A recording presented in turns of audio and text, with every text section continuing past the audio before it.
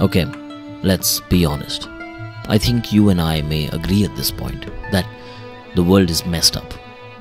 Everything is beautiful to look at and admire from a distance, but it's really quite bloody and messed up inside.